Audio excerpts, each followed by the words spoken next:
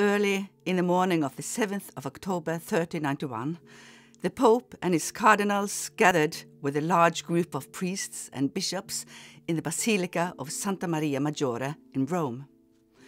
The clerk, all dressed in white, solemnly entered the papal chapel, of which the walls were covered with the finest tapestry and the floor strewn with fresh flowers and herbs.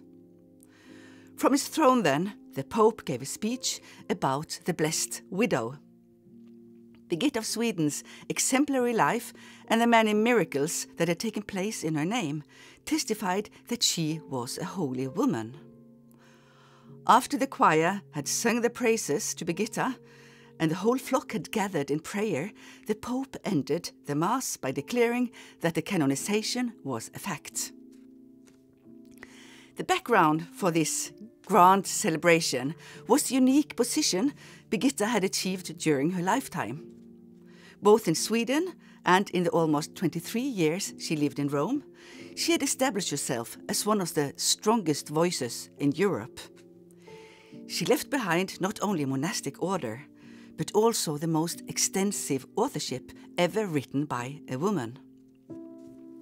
Who was Birgitta Birgersdotter? Who was this blessed widow from the north who challenged the powers of her time, who constantly fought for justice and reform, and who came to be a model for female prophets, intellectuals, and activists in the centuries to come?